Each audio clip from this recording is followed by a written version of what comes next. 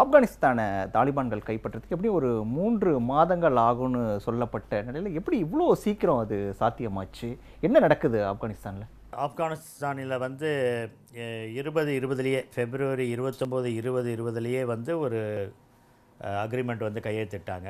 அந்த அக்ரிமெண்ட்டு கையெழுத்திட்டது வந்து Doha Qatar நாட்டில் இருக்கக்கூடிய கேபிட்டல் தோஹாவில் அதில் வந்து தலிபான்களும் வந்து அமெரிக்காவும் அதை வந்து கையெழுத்திட்டார்கள். அப்போது அவர்கள் ரெண்டு பேரும் என்ன ஒத்துக்கிட்டாங்கன்னா அமெரிக்கா வந்து ஆப்கானத்தை விட்டு வெளியேறிவிடும். அப்போது தலிபான்களுக்கு வந்து அந்த ஆட்சியை அவர்கள் கொடுத்து விடுவார்கள் அப்படின்றது தான் அந்த அக்ரிமெண்ட் அதன் பிரகாரம் வந்து அவங்க கொடுத்துக்கிட்டே இருந்தாங்க. அது சமயத்தில் போன வருஷம் எலெக்ஷன் இருந்ததுனால அமெரிக்காவில் வந்து ட்ரம்ப் சொல்லியிருந்தார் ஆகஸ்ட் முப்பத்தொன்றுக்குள்ளே நாங்கள் வந்து அமெரிக்காவினுடைய எல்லா படைகளையும் வந்து நாங்கள் அங்கேருந்து எடுத்து வாபஸ் வாங்கி விடுவோம் என்று சொல்லியிருந்தார். ஆகஸ்ட்டு ஆகஸ்ட் முப்பத்தொன்று வரப்போகுது. அதன் அடிப்படையில் அமெரிக்கா வந்து கொஞ்சம் கொஞ்சமாக குறைச்சிக்கிட்டு வந்தாங்க. அவங்க அவங்க படைகளை வந்து கொஞ்சம் கொஞ்சமாக குறைச்சிக்கிட்டே வரும்பொழுது வந்து தலிபான்கள் வந்து முன்னேறி கொண்டே வந்தார்கள். அவர்கள் வந்து கிட்டத்தட்ட வந்து ஒரு முப்பத்தஞ்சு மாகாணங்கள் அங்கே இருக்கின்றன. அந்த மாகாணங்களை எல்லாவற்றையுமே கிட்டத்தட்ட அவங்க கைப்பற்றிட்டார்கள். இன்றைக்கி வந்து ஜலாலாபாத் என்று சொல்லக்கூடது தான் வந்து கேட்வே டு காபூல் அப்படின்வாங்க அந்த கேட்வே டு காபூலுக்கும் வந்துட்டாங்க. வந்துட்டு இப்போ அவங்க என்ன சொல்கிறாங்கன்னா வந்து ஒரு அரசாங்கத்தோடு வந்து ஒரு உடன்படிக்கை ஏற்பட்டிருக்கு. அஷ்ரஃப் கானி வந்து பதவி இறங்குகிறார். அவர் பதவி விலகிவிட்டார் விட்டார் எந்த விதமான பிளட்ஷெட் ரத்தம் சிந்தாமல் இந்த ஒரு மாற்றம் ஏற்பட்டுவிடும்.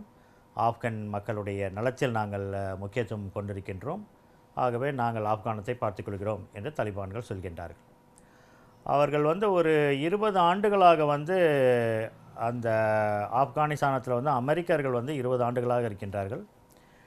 அமெரிக்காவுக்கு சப்போர்ட்டாக வந்து நேட்டோ படைகள் வந்து கிட்டத்தட்ட ஐம்பது நாடுகளை சேர்ந்த படைகளும் இருக்கின்றன. ரெண்டாயிரத்தி பதினொன்றாம் ஆண்டில் கிட்டத்தட்ட வந்து ஒரு லட்சம் அமெரிக்க ட்ரூப்ஸும் அதோடு சேர்ந்து நேட்டோவோடைய ட்ரூப்ஸும் சேர்ந்தோம்னா ஒரு லட்சத்தி முப்பதாயிரம் ட்ரூப்ஸ் அங்கே இருந்தாங்க. இராணுவ வீரர்கள் அங்கே இருந்தாங்க. ஆனால் அதெல்லாம் படிப்படியாக குறைக்கப்பட்டு விட்டு இந்த ஒரு மாற்றம் நிகழ்ந்திருக்கிறது. இப்போ ஆப்கானிஸ்தானில் இருக்க மக்களோட நிலை தான் என்ன? இருபது ஆண்டுகளாக அந்த தாலிபான்கள் என்ன தான் பண்ணிட்டு இருந்தாங்க? இந்த தலிபான்கள் என்பவர்கள் வந்து பாஷ்து என்று சொல்லக்கூடிய அந்த ஒரு இனத்திலேருந்து வராங்க. ஆப்கானிஸ்தானத்தில் வந்து பாஷ்து என்ற இனம் தான் வந்து ஒரு மெஜாரிட்டி இனம். அந்த மெஜாரிட்டி இனத்தினுடைய குரூப் தான் வந்து இந்த தலிபான். தலிபான்றது வந்து ஒரு பாஸ்து வார்த்தை. தலிபான் என்று சொன்னால் ஸ்டூடெண்ட்ஸ் மாணவர்கள் என்று தான் அர்த்தம். அதனால் வந்து அவங்க தான் வந்து ஆப்கானிஸ்தானத்தை பிடித்து வந்து ஒரு ஐந்து ஆண்டுகள் தொண்ணூற்றி ஆறுலேருந்து ரெண்டாயிரத்தி ஒன்று வரைக்கும் இருக்கிறாங்க. அவர்களுக்கு வந்து ஒரு ஐம்பது சதவிகிதம் வந்து ஒரு சப்போர்ட் வந்து இருந்துக்கிட்டே இருந்துச்சு. அதாவது பாஷ்து என்ற இனத்தவர்களும் அவர்களை சப்போர்ட் பண்ணாங்க. ரூரல் ஆப்கானிஸ்தானும் அவங்க சப்போர்ட் பண்ணாங்க. ஆனால் வந்து ஆப்கானிஸ்தானத்தில் வந்து காபூல் காபூலை சுற்றி இருக்கிற பகுதிகளில் வந்து அமெரிக்கர்கள் ஒரு இருபது ஆண்டுகள் இருந்ததுனாலையும் நிறைய மாற்றங்கள் வந்ததுனாலையும் கல்வி பெண்களுக்கான உரிமைகள் மற்ற சிவில் சொசைட்டி இவங்கெல்லாம் வந்து நிறைய வந்துட்டதுனால அங்கே என்ன ஆச்சுன்னு சொன்னால் ஓரளவுக்கு வந்து மாற்றங்கள் நிறைய நிகழ ஆரம்பித்தன. அதனால் வந்து காபூல் காபூலை சுற்றி இருக்கிற பகுதிகள் வந்து தலிபான்களுக்கு ஆதரவாக இல்லாமலும் அதற்கு சுற்றியுள்ள பகுதிகள் அவருக்கு ஆதரவாகவும் இருந்ததுனால தலிபான்கள் இதை கைப்பற்றியிருக்கிறார்கள். இப்போ ஆப்கானிஸ்தான் வந்து தாலிபான்கள் கைப்பற்றிருக்கிறதுனால இந்தியாவுக்கு என்ன ப்ளஸ்ஸு என்ன மைனஸ் உலகத்தில் எல்லாருக்குமே தெரிஞ்சது என்னன்னா தலிபான்களுடைய நெருக்கம் வந்து பாகிஸ்தானோட மிக அதிகம். அதனால் வந்து அவர்கள் அவர்களுடைய நெருக்கம் மிக அதிகமாக இருக்கிறதுனால வந்து இந்தியாவுடைய ஒரு உறவு வந்து கொஞ்சம் கம்மியாக இருக்கிறதுக்கான வாய்ப்புகள் இருக்கின்றன. இந்த தலிபான்களுக்கு சப்போர்ட் பண்ணக்கூடியவங்களில் ஒருத்தவங்க வந்து ஹகானின்னு சொல்லுவாங்க. இந்த ஹகானி வந்து இந்தியா இன்வெஸ்ட்மெண்ட்டு ஆப்கானிஸ்தானத்தில் இந்தியா பண்ண இன்வெஸ்ட்மெண்ட் எல்லாத்துக்குமே எதிராக இருக்கின்றார்கள். அதனால் அந்த விதத்தில் வந்து அவங்க வந்து இந்தியாவை வந்து மிகவும் தாக்குவதற்கான வாய்ப்புகள் வந்து அங்கே இருக்கக்கூடிய நம்முடைய இன்வெஸ்ட்மெண்ட்ஸை தாக்கிறதுக்கான வாய்ப்புகள் இன்றைக்கி நிறையா இருக்கின்றன. அந்த விதத்தில் வந்து இன்றைக்கி ரஷ்யா கூட வந்து கொஞ்ச நாளைக்கு முன்னாடி வந்து ஆப்கானிஸ்தானத்தில் வந்து ஒரு நிரந்தர தீர்வு ஏற்பட ஒரு நான்கு நாடுகள் உள்ளே வர வேண்டும் என்று சொல்லிட்டு. அதில் வந்து அவங்க யார் யாரை கூப்பிட்டுக்கிட்டாங்கன்னா சைனாவை கூப்பிட்டுக்கிட்டாங்க அமெரிக்காவை கூப்பிட்டுக்கிட்டாங்க இந்தியாவை கூப்பிடல.